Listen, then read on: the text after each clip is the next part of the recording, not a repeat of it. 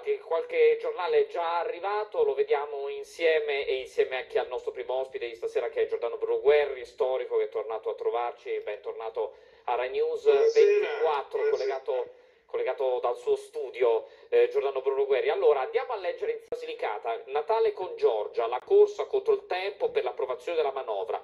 La Premier sferza la maggioranza sui tempi in Parlamento, se necessario, in aula anche il 25 dicembre per licenziare la legge di bilancio entro fine anno, tetto massimo di 400 eh, milioni per i regalini dei gruppi parlamentari e pagamenti obbligatori con carta eh, o bancomat da eh, 60 euro. Sindacati a Chigi il 7 dicembre, un'impresa dice Meloni fa già debiti per 90 miliardi. Allora, con Giordano Bruno Guerri, vogliamo partire da qua?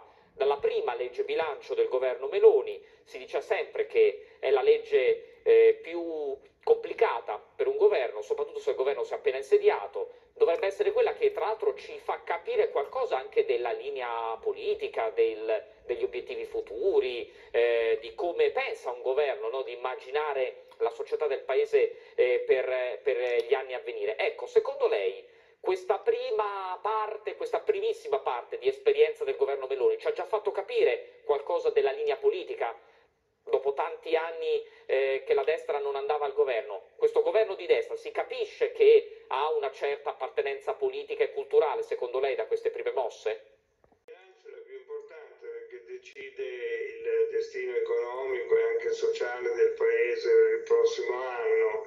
Eh, quanto al fatto che si capisca che sia di destra, a me sembra una manovra mode- moderata, moderata ed equilibrata, nel senso che ci sono provvedimenti importanti che potrebbero appartenere alla sinistra,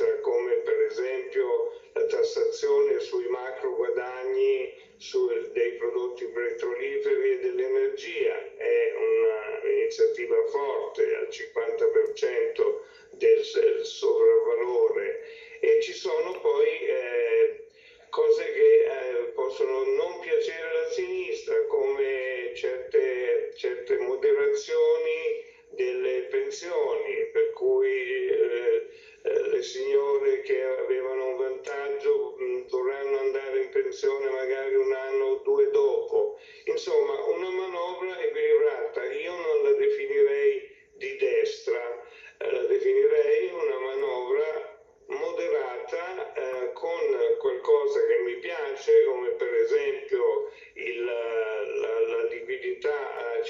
euro non perché io sia un evasore o pensi di fare frodi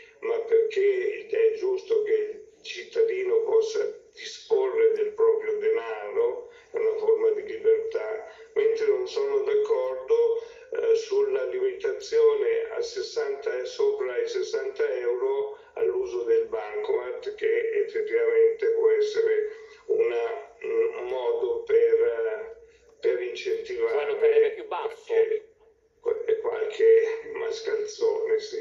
Giorgia Meloni che Sì. se necessario il Parlamento lavorerà anche il giorno di Natale perché no? Si è votato per la prima volta in settembre che il Parlamento lavori anche a Natale se non ce la fa prima. Eh, que- questi politici quest'anno hanno lavorato tantissimo perché la campagna elettorale l'hanno fatta a Ferragosto, poi si è votata a settembre, eh, in fretta e furia per fare la legge di bilancio, adesso appunto potrebbero arrivare al voto, ricordiamo che insomma c'è tempo fino alla fine dell'anno, appunto anche nella settimana, nella settimana di Natale.